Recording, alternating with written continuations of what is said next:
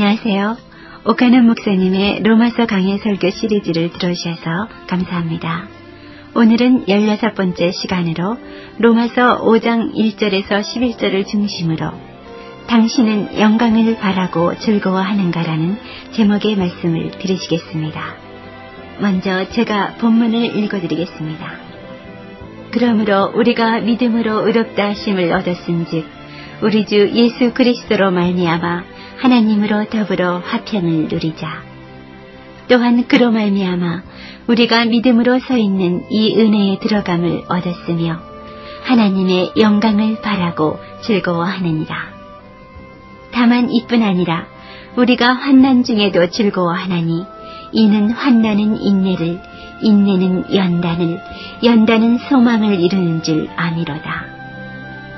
소망이 부끄럽게 아니함은 우리에게 주신 성령으로 말미암아 하나님의 사랑이 우리 마음에 부은 바 됨이니 우리가 아직 연약할 때 기약대로 그리스도께서 경건치 않은 자를 위하여 죽으셨도다.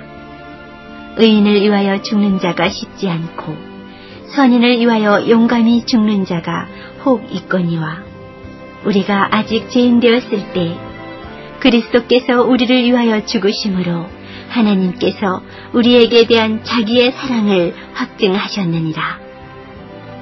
그러면 이제 우리가 그 피를 인하여 의롭다 하심을 얻었은즉 더욱 그로 말미암아 진노하심에서 구원을 얻을 것이니 곧 우리가 원수되었을 때 그 아들의 죽으심으로 말미암아 하나님으로 더불어 화목되었은즉 화목된 자로서는 더욱 그의 살으심을 인하여 구원을 얻을 것이니라.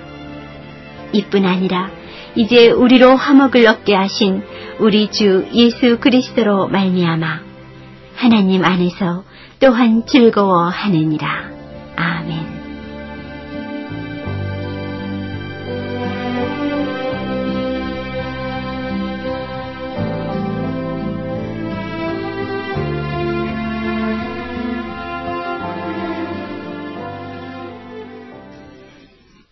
우리가 성경을 주목해서 보면은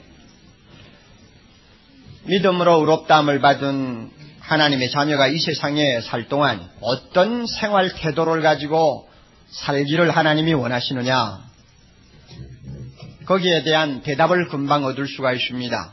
어떻게 사는 것을 바라느냐 그것은 주 안에서 항상 기뻐하는 모습으로 살기를 바라고 계신다는 것을 우리는 말씀을 통해서 어렵지 않게 발견할 수가 있습니다. 어떤 형편에 처하든지 간에 이유 여하를 막론하고 예수를 믿음으로 죄 사함을 받은 하나님의 자녀라면 이 세상을 살면서 원망과 탄식으로 일그러진 모습을 보여주어서는 안 된다. 이것이 하나님이 원하시는 것입니다. 어떻게 살면 하나님이 기뻐하실까? 날마다 기쁨이 가득해서 이 세상을 살면 하나님이 기뻐하신다는 말입니다. 그것을 증명할 수 있는 좋은 예가 하나 있습니다. 얼마나 하나님이 우리를 기뻐하시는 모습을 보기를 원하시는가 하는 데 대한 예입니다. 예수님이 지금 십자가를 지고 이제는 우리를 위해서 죽으셔야 될 시간이 다가오고 있습니다. 제자들은 슬픔에 빠져 있습니다. 이럴 때에 예수님께서 그 제자들을 보시고 너희는 마음에 근심하지 말라 하나님을 믿으니 또 나를 믿으라. 내 아버지 집에 구할 곳이 많도다 하시면서 말씀을 시작해가지고 장장 몇 시간이 지나도록 그들에게 위로의 말씀을 주셨는데 그렇게 제자들에게 위로를 하신 이유가 어디 있느냐 하면 요한복음 15장 11절 주님이 그 이유를 밝히셨어요. 내가 지금까지 너희에게 이렇게 긴 말을 하는 이유가 있다. 그것은 내 마음에 있는 이 기쁨이 너의 안에도 있어서 너희 기쁨이 충만하기를 원하기 때문이다. 이렇게 말씀을 합니다. 참 이것은 이해하기가 어려운 말씀이에요. 선생님이 지금 무참하게 끌려가서 십자가에 처형을 당할 지금 위기를 만났는데 제자들이 어떻게 기뻐할 수 있습니까? 그리고 그 십자가를 지고 무지막직한 고통을 당해야 되는 예수님의 마음에 어떻게 기쁨이 있다고 우리가 말할 수 있겠습니까? 그런데 우리 예수님이 거짓말하실 리가 없잖아요. 내 기쁨이 너희 안에 있어 너희 기쁨을 충만하게 하기를 원하노라. 그래서 내가 지금까지 너에게 이와 같이 많은 이야기를 한다. 말씀을 하셨어요. 그러니까 십자가를 지는 주님의 마음에도 기쁨이 있었어요. 하나님이 원하는 것이기 때문에 그래요. 그리고 선생님을 잃어버리는 제자들에게도 이 기쁨이 충만하기를 바라는 겁니다. 왜? 하나님이 원하시기 때문에 그래요. 자, 그렇다면 십자가를 지시는 주님이 기뻐하셨고, 십자가를 향해서 걸어가는 선생님을 뒤에서 바라보고 눈물을 흘리는 제자들도 기쁨이 충만하기를 하나님이 원하셨다면, 그거보다 훨씬 못한 어려움을 짊어지고 이 세상을 사는 우리에게 무엇을 원하실까? 기뻐하는 것을 원하신다는 말입니다. 그래서 우리가 오늘 읽은 이 본문에 보면 성도의 모습은 이 세상에서 어떤 모습이어야 하느냐? 하나님의 영광을 바라보고 즐거워하는 모습이어야 한다고 말씀합니다. 2절, 어, 2절 끝부분에 나오죠? 하나님의 영광을 바라고 즐거워하느니라. 한번 큰 소리로 읽어보세요. 하나님의 영광을 바라고 즐거워하느니라. 이 말을 바꾸어서 이렇게 일, 여러분이 다시 읽어보세요. 나는 나는 이 세상을 살 동안 하나님의 영광을 바라고 즐거워해야 한다. 이것이 바로 하나님께서 우리가 원하, 우리에게 원하는 삶의 스타일입니다.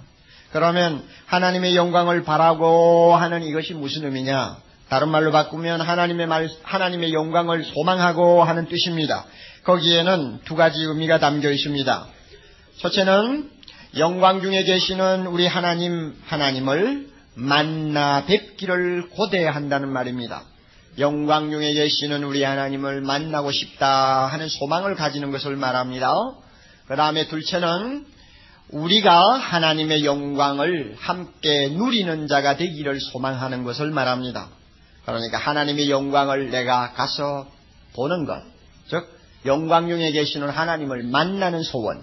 그 다음에 또 하나는 내가 하나님처럼 영광스러운 모습으로 변화되어 하나님 앞에 선을 서기를 바라는 소원. 이 두 가지가 이 말씀 안에 들어 있습니다. 이것이 하나님의 영광을 바라본다 하는 뜻입니다. 우선 먼저 우리가 하나님의 영광스러운 모습을 보는 문제를 생각해 봅시다. 어떻게 우리는 이 세상에 살면서 하나님의 영광을 봅니까? 뭐 천국 들어가서 보는 것은 당연한 것이니까 물을 필요가 없어요. 그러나 이것은 세상에 살면서 하나님의 영광을 바라보는 것을 말하는 것이니까 어떻게 우리가 주님의 영광을 이 세상에서 볼 수 있나요? 하나님은 그 자체가 영광입니다. 찬란한 빛입니다. 육신의 눈을 가진 사람은 아무도 그 영광을 직접 보지 못합니다.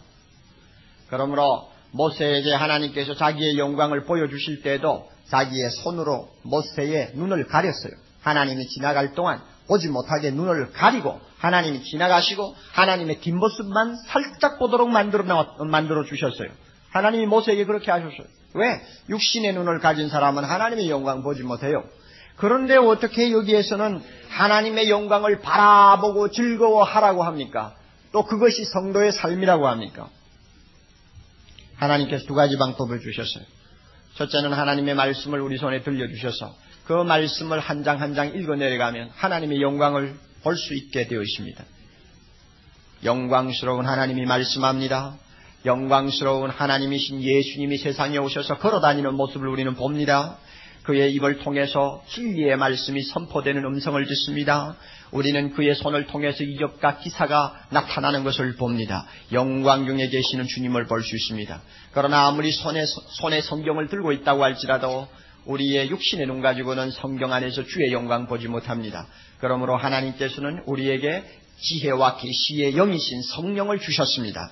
성령이 깨닫는 깨닫게 하시는 자, 성령이 그의 눈을 열어 주시는 자, 성령이 마음의 눈을 밝혀 주시는 자는 성령 안에서 하나님의 영광을 바라볼 수 있게 되어 있습니다.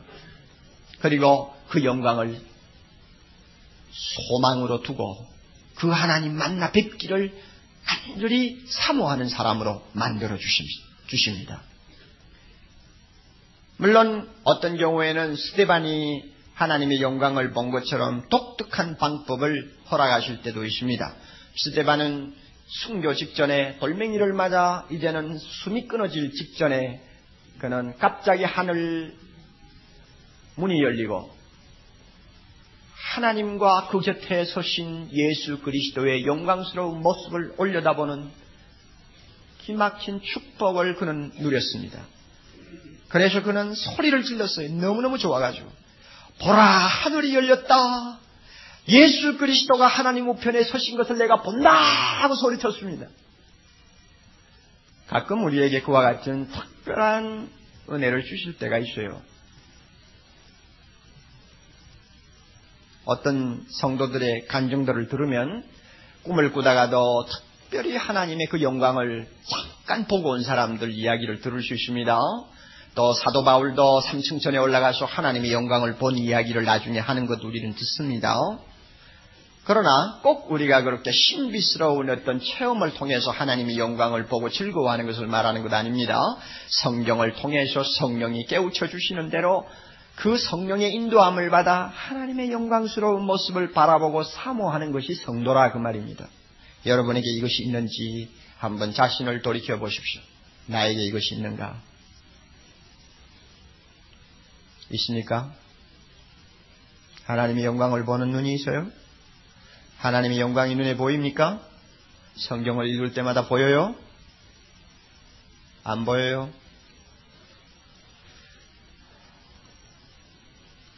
이 시간 주님께서 우리 모두의 마음을 여시고 이 영광 말씀을 통해 믿음의 눈으로 보게 해 주시기를 바랍니다.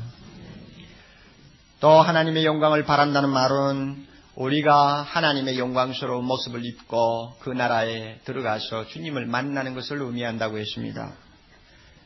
우리는 언젠가 하나님의 영광스러운 모습을 우리가 입게 됩니다. 우리가 잘 아는 바와 같이 하나님과 사람이 만나려면 두 가지 방법이 있어요. 하나님께서 두 가지 방법을 사용하세요. 첫째 방법은 하나님이 사람이 되는 거예요. 하나님이 우리처럼 돼버리는 것입니다.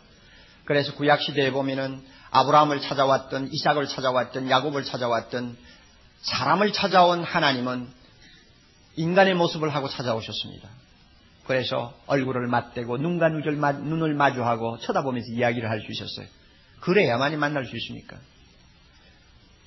그리고 예수님 역시 우리를 찾아오실 때도 초라한 우리의 모습을 그대로 가지고 찾아오셨어요. 그런데 앞으로도 하나님이 그런 식으로 우리를 만날 것이냐? 그렇지 않습니다. 이제는 하나님이 낮아지셔서 사람이 되시고 사람 모습으로 오시는 그런 일은 끝났습니다. 이제 다른 방법이 남아있어요. 그것은 우리가 누구처럼 되는 거요? 우리가 하나님처럼 변해서 하나님처럼 되어가지고 하나님과 만나는 것입니다. 이게 우리 앞에 남아있어요.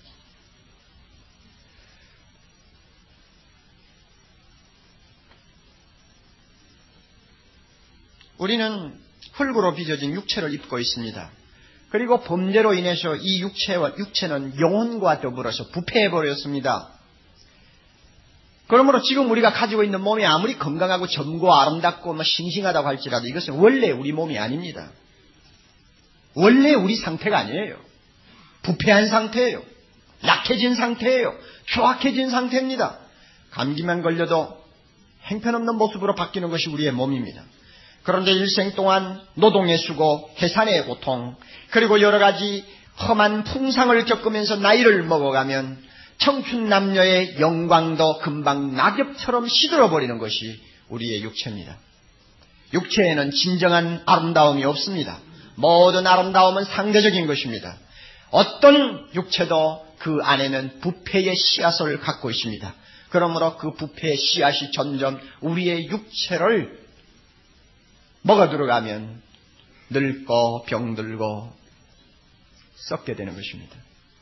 이것 때문에 로마서 8장 22절 23절을 보면 모든 피조물이 탄식하고 고통한다고 했고 하나님의 자녀들까지도 이 썩어가는 육체 때문에 고통한다고 했습니다. 이게 우리의 현실입니다. 그런데 이와 같이 부패의 씨앗을 갖고 있는 내 육체가 하나님을 만나 뵙기 위하여 한순간에 하나님과 같은 영광스러운 몸을 입게 된다는 말입니다. 이것을 우리가 믿음으로 내다봐요. 내 몸이 우리 부활하신 예수님의 몸처럼 변할 것이다. 이것을 바라는 것이 바로 하나님의 영광을 바란다는 말입니다.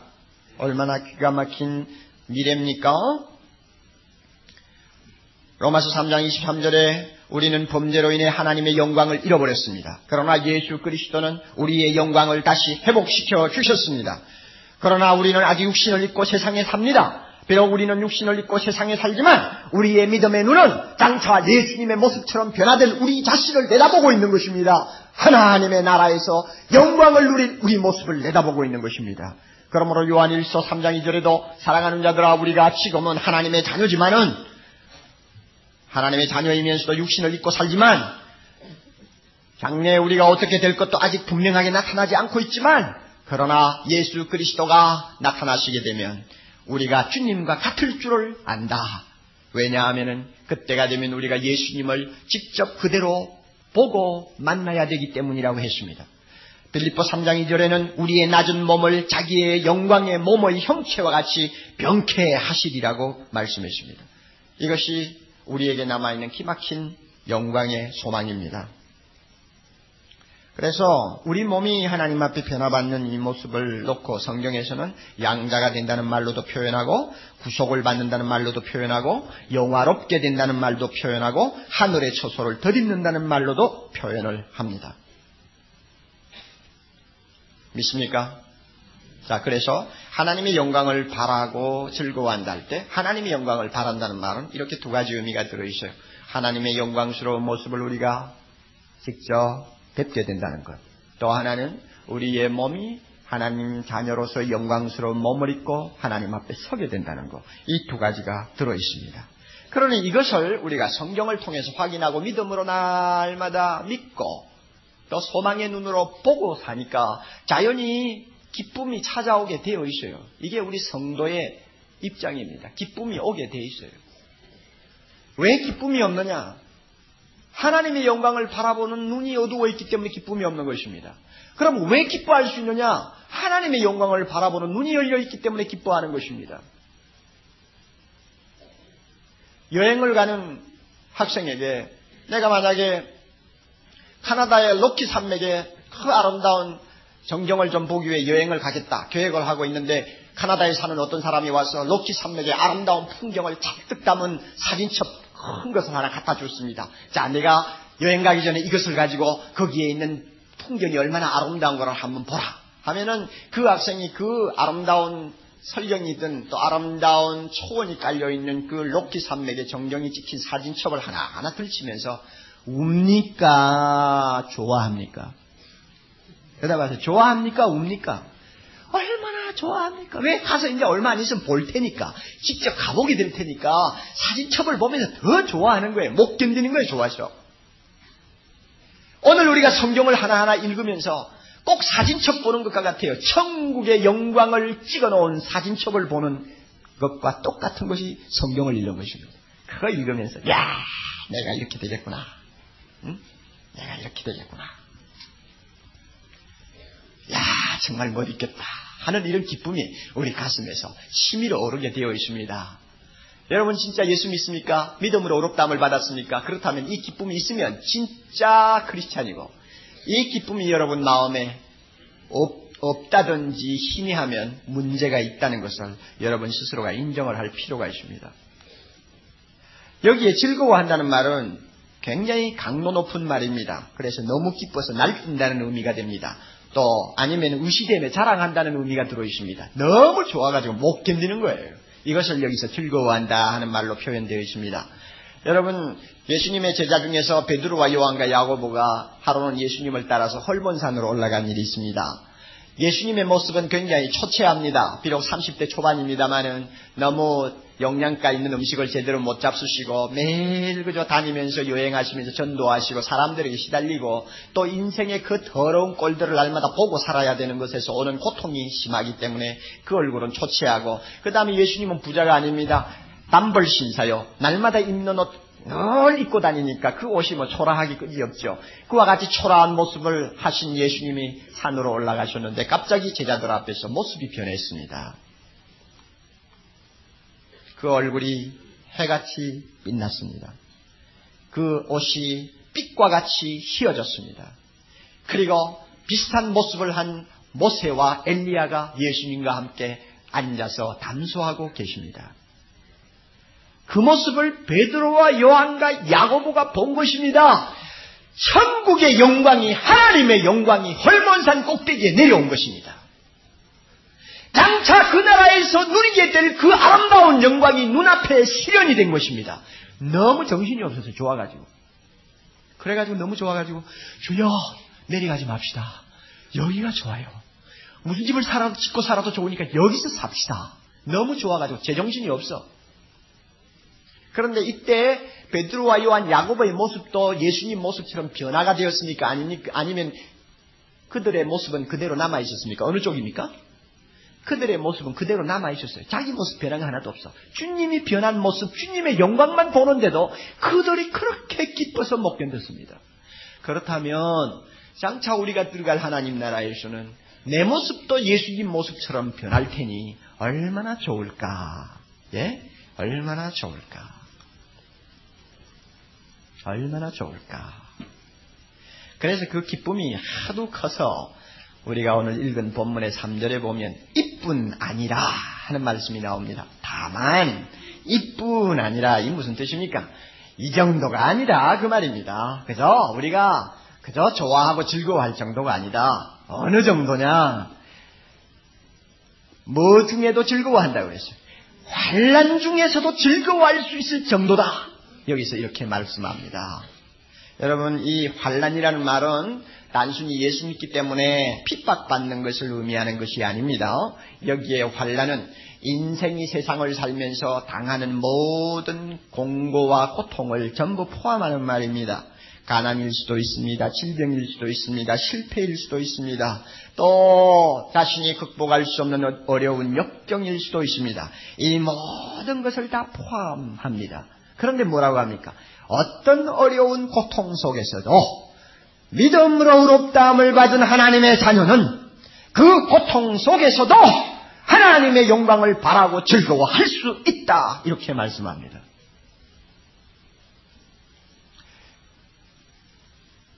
예수 믿는 사람이라고 해서 병이 안 납니까? 병이 납니다. 예수 잘 믿는 사람이라고 해서 날마다 돈만 법니까? 아니요. 돈을 잃어버릴 수도 있고 실패해서 재산을 날릴 수도 있습니다. 예수 잘 믿는 사람이라고 해서 사랑하는 식구들이 먼저 죽지 않습니까? 아니요. 사랑하는 자식도 죽을 수 있고 아내도 죽을 수 있고 남편도 죽을 수 있습니다. 하나님께서 예수 잘 믿는 사람에게는 어떤 고통도 찾아오지 않도록 해주시겠다고 하는 보장한 일이 없습니다. 예수 믿어도 이런 고통을 당해요. 그러므로 우리는 본능적으로 이 고통을 좋아하지 않습니다. 환란이 어떤 형태로 오든 간에 우리는 그 환란을 두려워합니다. 피하려고 합니다. 히브리서 12장 11절에 솔직하게 말씀하셨어요. 무릇 징계가 당시에는 즐거워 보이, 보이지 않고 슬퍼 보인다고 했습니다. 맞습니다. 어떤 형태든지 어려움이 오면 우리는 슬퍼지고 또 즐거워지지 않습니다. 싫어집니다. 이게 사실이요. 우리의 솔직한 심정입니다. 우리 중에 누가 늙는 거 좋아하는 사람이 있나요? 늙고 허약해지는 거 누가 기다리는 사람이 있나요? 아무도 없어요.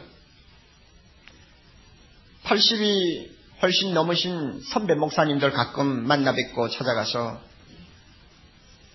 인사를 드릴 때가 있습니다. 참 그렇게 훌륭한 목사님으로서 한 생을 사셨지만은 80이 넘어가면 허약해지시고 말씀하시는 모습을 보아도 힘이 없고 기억력도 오락가락하고 그래 참 처량한 생각이 들어요. 얼마 전에 한경직 목사님을 만나 뵀을 때도 그런 생각이 들었어요. 그분은 아직 쟁쟁하신데도 참 처량하다 는 생각이 들어요. 그런데 가끔 그런 노 목사님들을 만나서 목사님 더 건강하세요. 그리고 더 오래 사세요. 하면은 좋아가지고 웃음꽃이 활짝 핍니다. 인사를 그렇게 드려서 좋아하시는 것은 괜찮은데 그만 내 마음에 시험이 와요.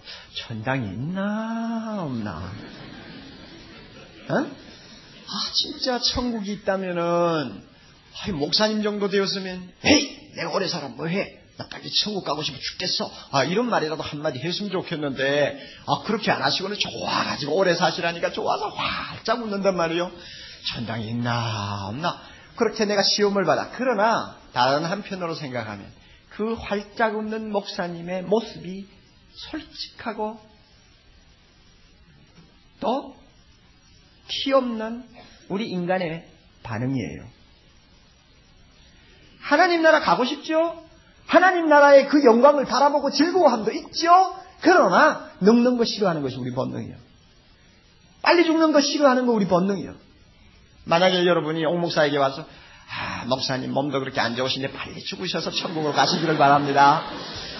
만약에 내보고 인사를 그런 식으로 한다면은 글쎄 내가 아마 위선을 한다면 감사합니다 이럴지 모르지만 솔직하게 표현한다면 보로장마 역시 인사를 해도 왜 그런 식으로 하느냐고 아마 내가 이렇게 언짢게 표정을, 표정을 지을 거예요. 왜? 그게 우리 심정이에요.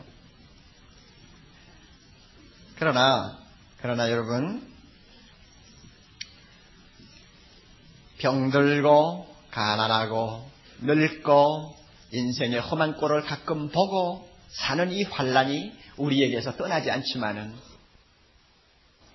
이 가운데서도 우리가 즐거워할 수 있다. 하나님이 그렇게 말씀합니다. 이유가 어디 있을까? 이 환란에는 하나님이 특별히 붙여주신 프리미엄이 있습니다. 프리미엄 알아요? 아파트만 이야기해야 프리미엄 생각나나요? 환란에도 프리미엄이 있어요. 그 프리미엄이 뭐냐? 자, 이 봅시다. 4절, 어, 3절 끝에 이는 왜냐하면 환란은 어떤 프리미엄을 우리에게 주느냐? 인내하게 하고 그 다음에 인내를 하다 보면 무엇이 따라옵니까? 연단을 받게 하고 예? 그 다음에 연단을 받다가 보면 소망을 이룬다는 말은 그 하나님 영광을 바라는 소망이 더 커지고 더 분명하게 된다는 이야기입니다. 이게 프리미엄이요. 그러니까 자연히 하나님의 영광을 바라보는 그 믿음의 눈이 더 밝아지고 더 커지니까 기쁨도 환란 당하지 않는 사람들이 맛보지 못하는 독특한 기쁨이 나에게 찾아온다는 이야기입니다. 이게 프리미엄이에요. 우리가 가난해 가지고 고통을 하지 않습니까? 돈이 없어서 어떤 때는 어려움을 당합니다. 그러면 자연히 세상에 그 어떤 돈의 애착이 점점 약해집니다. 이놈의 세상, 돈 가지고 행복한 거 아니야. 아무리 내가 많이 가져도 그것이 나에게 기쁨을 줄 수는 없어. 적당하게 하나님이 주시는 대로 살자. 이러면서 돈에 대한 애착이 조금씩 조금씩 사라져요. 이게 뭐니, 뭔지 압니까? 가난이 나를 연단시킴으로써 나타나는 결과입니다. 연단은 나에게 있는 불순물을 제거하는 것을 말합니다. 부자로 있을 때에는 내 눈이 세상의 돈으로 꽉 덮여 있어가지고 하나님의 영광을 바라보려고 해도 침침해서 잘 안 보였어요. 그러니까 돈 많이 벌면 즐거워하고 자식들이 잘 되면 즐거워하고 건강하면 즐거워할 수는 있었지만은 하나님의 나라의 영광을 바라보고 즐거워하는 마음은 조금밖에 없었어요. 그러나 갑자기 재산이 제, 어, 가정이 기울고 가난 때문에 고통을 당하게 되면 돈이 없어서 괴롭기는 하지만 그러나 그 대신 하나님이 프리미엄 주셔서 내 눈을 가리고 있던 모든 욕심을 하나하나 걷어내어 주시고 점점 하나님의 그 영광스러운 모습을 밝히 볼 수 있게 만듭니다. 그리고 내 마음을 깨끗이 청소해 주기 때문에 하나님의 영광을 바라는 그 눈이 활짝 열려서 옛날보다도 하나님의 영광스러운 모습이 더 가까이 보입니다. 더 크게 보입니다. 그러니까 나도 모르게 내 마음에 기쁨이 생긴단 말이에요. 여러분 병들어 보셨어요? 병들어 가지고 저처럼 좀 긴 세월 동안 알아보셨어요? 과거에 학생 때는 저는 병을 가지고 한 5년을 알아본 경험이 있습니다만 최근에 여러분이 아시는 바와 같이 한 2년을 저는 앓고 지금도 뭐 신통치 않습니다만 그 병이 참 괴롭습니다. 네 가지, 다섯 가지 증세가 막 한 번에 나타나가지고 밤낮 없이 사람을 들볶을 때는 정말 살고 싶은 생각이 안 납니다. 참 괴롭습니다. 기도도 안 나옵니다. 엎드리면 주님, 데리고 가세요. 아니면 고쳐주세요. 자, 이런 식입니다. 그 외에 기도가 잘 안 나와요. 그런데 제가 병을 통해서 분명히 하나 아는 것은 나의 영혼이 연단을 받는다는 것입니다. 잡된 것이 없어져요.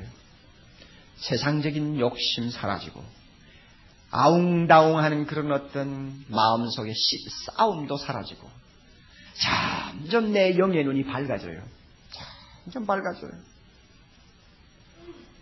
하나님이 멀리 보이던, 멀리 보이던 하나님이 가까이 보여요. 이게 환란 중에서 우리가 연단받는 것입니다. 그러므로 어떤 때는 나도 모르게 큰 기쁨이 내 마음속에 찾아와요. 내가 병들어 고, 고, 고, 고생하지만 그러나 어느 날인가 하나님을 뵙게 되는 날 이 병들어 고통하는 육신을 벗어버릴 것이고 주님이 주시는 새 몸 있고 주님 만나게 될 것이니 야 할렐루야 그날이 나를 기다리고 있구나. 내 마음에 나도 모르게 기쁨이 와요. 그럼에도 불구하고 저는 이 본문을 놓고 설교 준비하면서 이 본문을 끌어안고 울었어요. 왜 그런가 하면은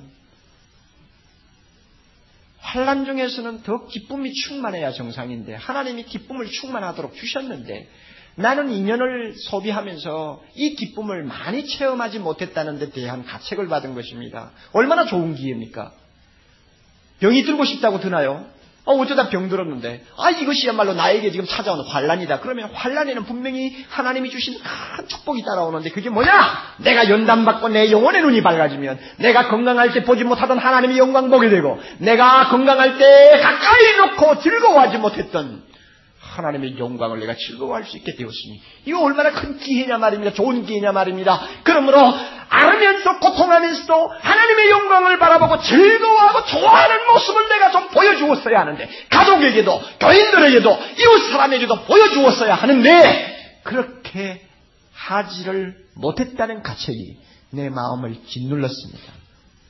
이미 2년이라는 세월은 흘러가 버렸어요. 하나님 너무나 좋은 기회 내가 놓쳤네요. 좀 더 연단받을 수 있었고 하나님의 영광을 좀 더 가까이 보고 좋아할 수 있는 기회였는데 놓쳤네요 주님. 어 이렇게 생각하니까 그냥 눈물이 나요.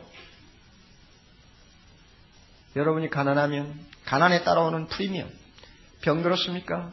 거기에 따라오는 프리미엄 있는 거 아시기 바랍니다.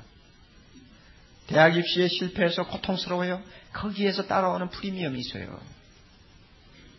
남편을 잃었나요? 아내를 잃었나요? 자식을 잃었나요? 가정에 어떤 남모로는 우환이 있나요?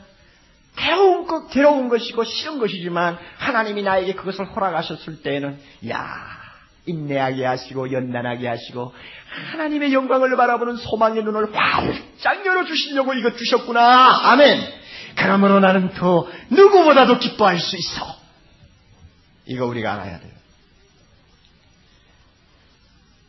루마니아가 공산치하에서 한참 어려움을 당할 때 범브란트 리차드 범브란트 목사님은 14년 동안 옥고를 치렀습니다. 감옥에서 주로 홀로 독방에서 14년 가까이를 보내는 것은 그것은 죽는 것보다 몇 배로 고통스러운 일이라는 걸 우리는 많이 들어서 합니다. 그런데 그분이 감옥을 나오면서 쓴 글을 제가 보니까 참 기막힌 말을 했어요. 제게는 너무 긴 것으로 여겨지지 않았던 것은 뭐가? 감옥에서 보낸 14년의 횟수가 너무 길다고 여겨지지 않았습니다. 홀로 독방에 갇혀 있으면서도 믿음이나 사랑을 넘어선 어떤 기쁨을 하나님 안에서 발견했기 때문입니다. 그 기쁨이란 이 세상 어느 것에도 견줄 수 없는 아주 깊고도 특이한 황홀경 같은 것이었습니다. 여러분, 무슨 말인지 못 알아듣겠죠? 저도 몰라요. 감옥에 들어가서 주님을 위해서 그렇게 환란을 당하는 자에게 하나님이 특별히 주시는 은혜니까 그 사람만이 알아요. 어떤 황홀령 같은 기쁨이 그를 사로잡고 있었기 때문에 14년도 긴 것처럼 느껴지지 않았고 똑방에서 그렇게 고생하고 못 먹고 살아도 떨고 살아도 그게 큰 문제가 안 되었다는 말입니다. 그래서 감옥에서 나올 때 어떤 기분을 느꼈느냐? 마치 높은 아름다운 산정에서 수십 리에 뻗쳐 있는 시골의 아름다움과 평화를 바라보면서 즐거워하다가 갑자기 평지로 그냥 내려와 버린 것 같은 느낌을 받았다고 그랬습니다. 이거는 극단적인 예입니다. 그러나 우리가 분명히 알 수 있는 것은 환란 중에 있을 때에는 하나님이 주시는 특별한 은혜가 따라온다는 사실을 가장 잘 증명하는 것이라고 저는 생각합니다.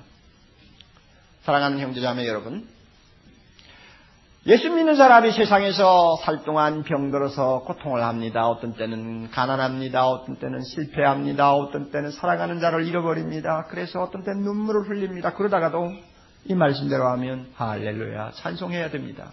아멘. 기뻐해야 합니다. 즐거워해야 합니다. 하나님의 영광을 바라보고 즐거워해야 합니다. 그렇게 하면 세상 사람들이 볼 때는 야, 참 오죽이 답답하면 저렇게 위선을 할까? 자기 궁색함을 숨겨보려고 오죽이 답답하면 저런 몸부림을 칠까? 그렇게 말을 할지는 모르지만 천만에요. 우리는 아무리 고통스러운 환경에서도 기뻐해야 합니다. 그리고 그 기뻐하는 것을 부끄러워할 필요가 전혀 없습니다. 그래서 뭐라고 합니까? 5절. 소망이 뭐하지 아니하다? 부끄럽게 아니하면 이 말은 우리가 하나님의 영광을 바라고 환란 중에서 기뻐해도 그것이 절대 부끄러운 일이 아니다. 이 말을 바꾸면 우리를 절대 실망시키지 않는다 하는 말입니다. 왜 그런지 합니까? 우리를 너무 사랑하시는 하나님의 사랑 때문이라고 말합니다. 우리에게 주신 성령으로 말미암아 하나님의 사랑이 우리 마음에 부음받았기 때문이다. 여러분 믿음으로 의롭다함을 받고 하나님의 자녀된 자에게는 하나님께서 성령을 통해서 우리 마음에 하나님의 사랑을 부어 주셨습니다. 내가 너를 사랑하노라. 내가 너를 얼마나 사랑하는지 아느냐? 하나님이 우리에게 말씀합니다. 나는 너를 너무너무 죽도록 사랑한다. 무엇을 가지고 그렇게 증명합니까? 6절 우리가 아직 연약할 때 하나님께서 자기 아들 예수 그리스도를 십자가에 못 박아 죽이셨습니다. 우리를 살리기 위하여. 여러분 우리 잘 알지 않습니까? 7절 보세요. 의인을 위해서 죽는 자가 가끔 있을 수 있고 선인을 위해서 용감히 죽는 자도 가끔 있을 수 있지만은 경건하지 못한 자, 죄인된 사람을 위해서 죽을 자는 세상에 아무도 없습니다. 그럼에도 불구하고 예수 그리스도는 나 같은 것을 구원하기 위하여 십자가에서 스스로 못 박혀 죽었습니다. 하나님은 자기 아들을 십자가에 내어놓고 죽이셨습니다. 왜냐하면 우리를 죽도록 사랑하시는 그의 사랑 때문입니다. 이 사랑을 성령께서 우리에게 깨우쳐 주셨단 말입니다. 성령이 우리 마음에 하나님의 사랑을 부어주셨다는 말은 십자가를 통하여 하나님의 사랑을 깨닫게 하셨다는 말입니다. 우리는 예수 믿고 나서 이 사랑을 압니다. 하나님이 나를 얼마나 사랑하시는가를 압니다. 그것이 내 마음에 힘이 오는 것을 느낍니다. 그 사랑이 내 마음에 어떤 때는 폭포와 같이 넘치는 것을 체험합니다. 할렐루야. 이 사랑이 있어요. 그러니까 이렇게 나를 사랑하시는 하나님이시니까 내가 가난해도 병들어도 하나님의 영광을 바라보고 즐거워하면 절대로 나를 부끄럽게 하지 아니하실 것이다. 왜냐하면은 나를 실망시키지 아니하실 것이다. 왜냐하면 나를 너무 사랑하시니까 반드시 하나님의 영광 나에게 주실 것을 나는 확신할 수 있기 때문입니다. 하나님이 언제는 주겠다고 언제는 안 주겠다고 변하는 분이 아닙니다. 하나님이 갑자기 나의 죄를 생각하시고는 얼굴빛을 바꾸시는 분이 아닙니다. 우리가 하나님의 영광을 바라보고 기뻐하면서 그의 앞에 나가면 내 아들아 세상에 있을 동안 고생했다. 내 영광에 참여해라. 내가 너에게 모든 것 주마. 우리 하나님 그렇게 하실 거란 말이에요. 왜? 우리를 너무 사랑하시기 때문입니다. 끝으로 여러분 한 가지 알아두고 성경을 덮어야 되겠습니다. 하나님께서 이렇게 우리가 세상에서 환란을 당하는 중에도 특별히 하나님의 영광을 바라보고 즐거워할 수 있는 은혜를 주시는 이유가 뭔지 압니까?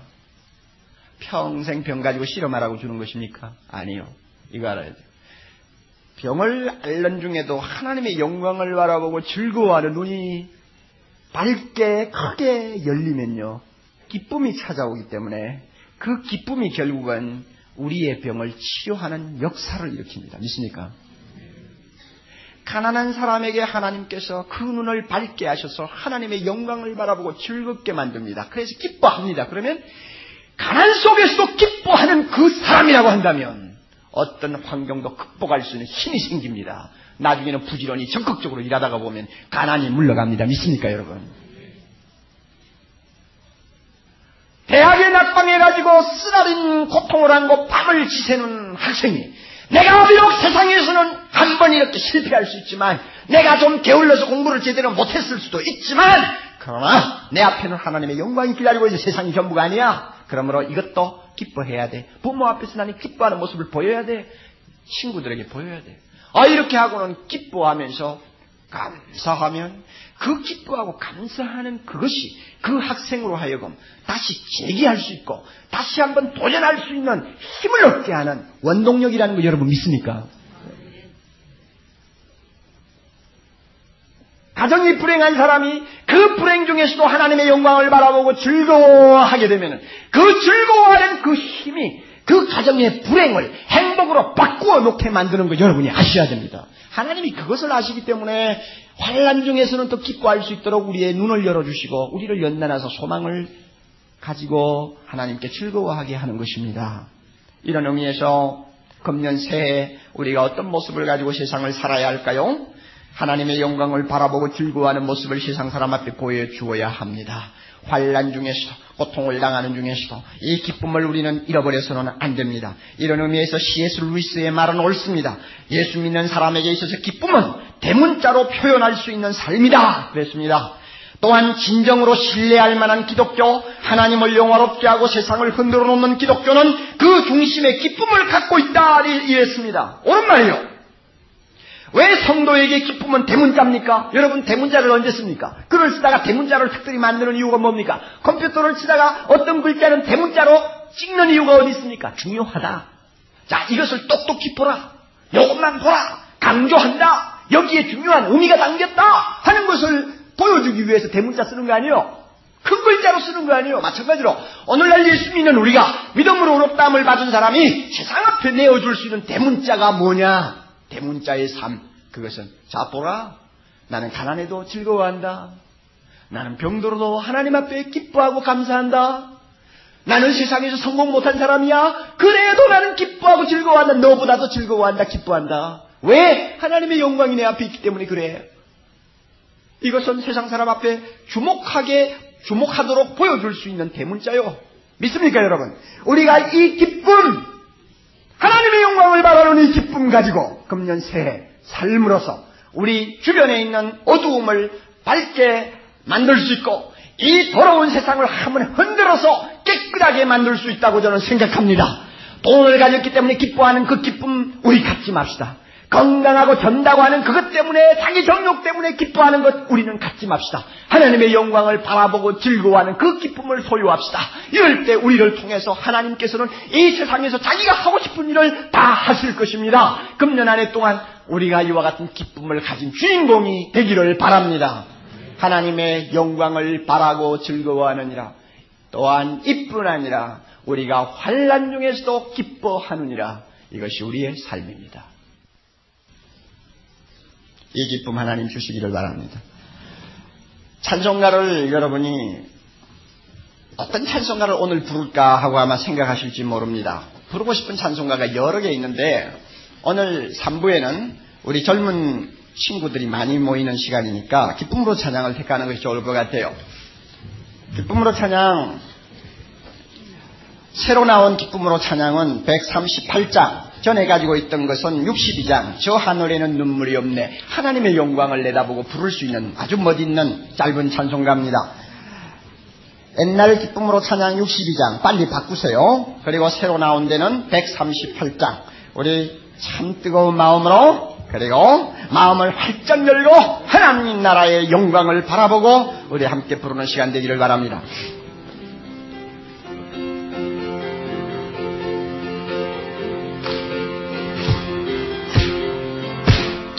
하늘에는 눈물이 없네. 저기는 슬픔만 없네. 하늘에는 눈물이 없네. 저기는 승리만 있네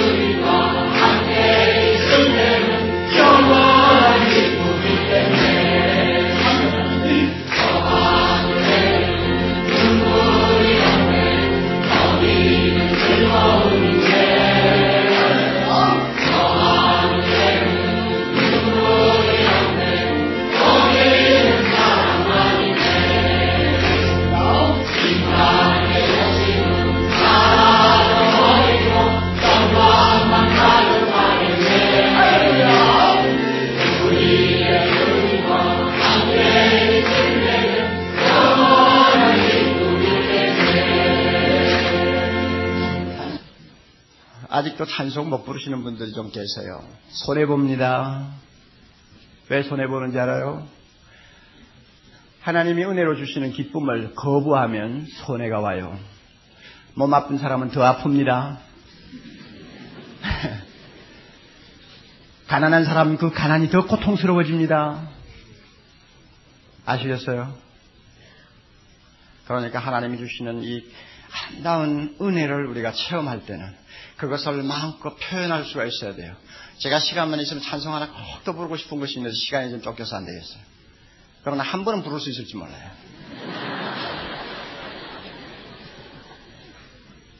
주가 맡긴 모든 역사 힘을 다해 마치며 주님의 나라 가서 주의 얼굴 대하리 주의 얼굴 대하리 무슨 찬송인지 아시죠? 올게 나면 쳐봐요 231장 주가 맡긴 모든 역사 여러분 몸 아픈 분들 이 시간 성령의 능력으로 건강하기를 원합니까? 찬송하세요. 가난한 분들 고통스럽습니까? 그 고통 이기고 정말 부자 되기를 원하면 기뻐하고 찬송하세요. 금년 한 해 동안 하나님께서 모든 어려움을 극복하고 성공하기를 기원합니까? 그렇다면 찬송하고 기뻐하세요. 환란 중에 있을 때 찬송할 줄 알아야 돼. 환란 중에 있을 때 기뻐할 수 있어야 하나님이 축복합니다. 231장 1절, 2절, 4절. 자, 이 찬송 누가 썼는지 알아요? 눈먼 봉사가 썼어요. 눈먼 봉사. 크로스비가 썼어요. 눈을 감고도 눈을 감고도 이런 찬송을 부르면서 기뻐하고 춤을 췄는데 눈을 뜨고도 못 부르면 어떻게 합니까? 몇 장이라고 그랬어요? 자,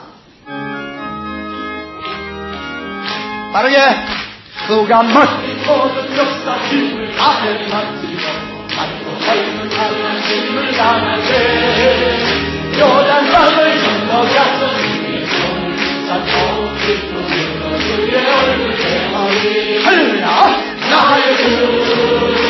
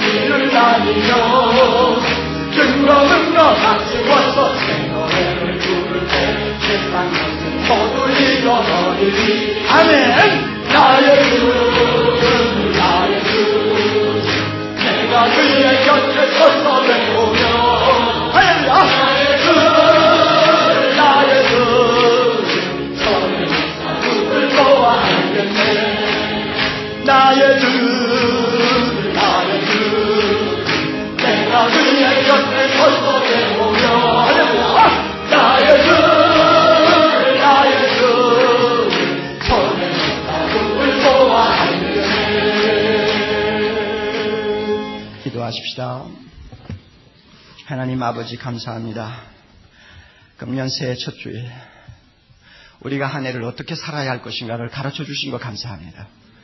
하나님의 영광을 바라보고 즐거워하며 환란 중에서도 즐거워하면서 사는 것 주님이 원하시는 삶이오니 이 시간 우리가 주의 성령으로 은총을 입고 교회 문을 나서면서부터 우리의 모습은 하늘의 영광을 바라보는 자의 모습이 되게 하옵소서. 우리의 말, 우리의 표정, 우리의 웃음, 우리의 심지어 눈물까지도 하나님의 영광을 바라보고 사는 자의 모습이 될 수 있도록 우리를 인도해 주옵소서. 그리하여 우리의 삶을 보고 수많은 사람들이 세상에서 절망하고 예수 그리스도를 찾을 수 있도록 축복해 주시옵소서. 예수님 이름으로 기도하옵나이다. 아멘.